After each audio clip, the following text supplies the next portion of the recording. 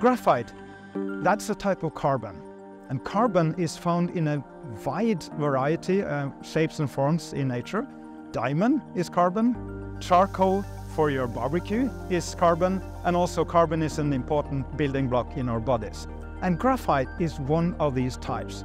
And in order to make graphite, we need to heat carbon up to a temperature above 3000 degrees C. When we heat it to 3000 degrees C, the carbon atoms will align nicely into flakes, and these flakes are so well suited for storing lithium. So when you charge your electric vehicle, the lithium ions will move from the cathode in the battery to the anode, pick up an electron, and then hide and store in the graphite. That's the purpose of the graphite in lithium-ion battery.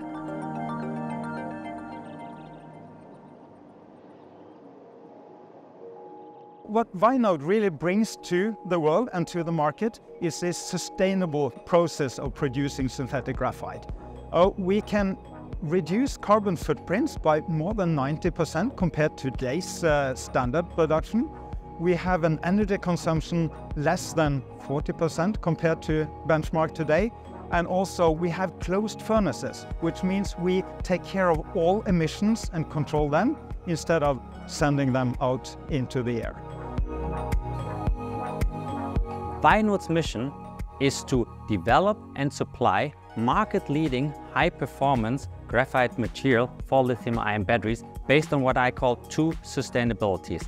One is the environmental sustainability based on our low-emission, resource-efficient proprietary production technology. The other sustainability are sustainable, resilient supply chains based on the fact that we produce close to our customers both in North America and in Europe. The impact of graphite anode material on the performance of an EV cannot be understated. What people are mainly looking for in electric vehicles is fast charge, and the graphite is the determinant of the charging capability of the battery. So if we can improve the performance of the graphite, we can improve the overall charging capability and also the lifetime of electric vehicles. Anode graphite is the most important material in the CO2 footprint of a lithium ion battery. So what we see is that the graphite by weight is the largest component in a battery, Graphite that's in the battery is also the largest contributor to the CO2 footprint um, at approximately 30% of the CO2 footprint of the battery.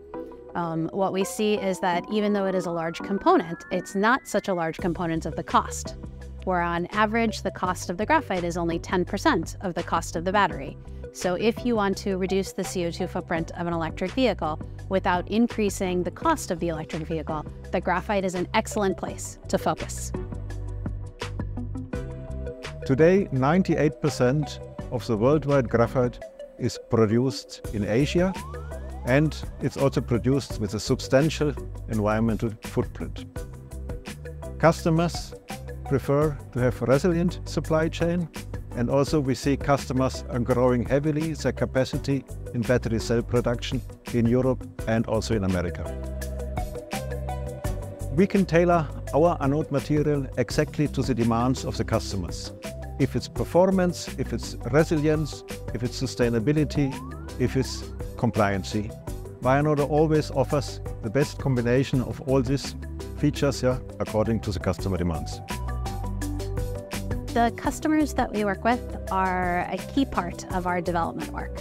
You know, we get to work with um, the largest OEMs in the world on electric vehicles. We get to work with the, the largest cell producers in the world and they really push us on our technology. And so we work with those customers over you know, years together um, to develop the materials and make them exactly the way that they want them to be. Um, and for us, that is very exciting that they push us to grow with our technology. They push us as a company and they really push us as scientists. Our ambition when it comes to volume and production, within 2030, we want to produce around 200,000 tons of synthetic graphite. That will be enough to supply 3 million electric vehicles. So pretty high number. And this is going to be done both in Europe and in North America. So ambition is to have one plant in North America and one in Europe by 2030. But really our target is to build a giga plant. This is something that the world needs. It needs sustainable graphite. Global electrification and the adoption of electric vehicles will drive the demand of lithium-ion batteries. And the largest part of a lithium-ion battery in terms of volume is synthetic graphite. Vianode is determined to be the leading supplier of the lowest emission, lowest CO2 footprint possible anode material in the world. We want to be recognized, we want to be a long-term partner of our customers, providing high-performance material, enabling our customers to tailor their battery requirements. By doing so, we will create substantial stakeholder value and have a significant sustainability impact. I'm convinced that Vianode will reach this vision because we have a dedicated, a very passionate team consisting of members from more than 20 nations. We will keep on improving the technology every day and thus enable the green transition.